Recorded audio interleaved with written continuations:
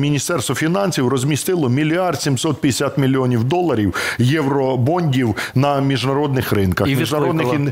і не відкликали. Я вам розкажу подробиці. Вони ж брешуть, що вони відкликали. Вони вимушені були відкликати. Мінфін вимушений був, тому що угода із міжнародними інвесторами відбулася до 20-ї години. Орієнтовно о 9-й годині Смолій подав заяву про відставку з політичних причин. І ті інвестори, які купили, наголошую, вже купили мільярд 70 750 мільйонів доларів е, е, єврооблігацій України, вони, вони відмовились від угоди. Вони там е, відповідно до угоди тиждень був на сплату коштів. Вони сказали, ми не будемо платити, тому що ваші дії знищують незалежність національного банку, ставлять під загрозу взагалі спроможність України виконувати свої зобов'язання, і вони відмовились від, від угоди. Це взагалі безпрецедентний випадок в історії України. Такого ніколи не було. Не лише в українській історії, а в світовій історії, щоб угода майже на 2 мільярди доларів, яка відбулась, була розірвана тільки тому, що пішов відставку голова Національного банку.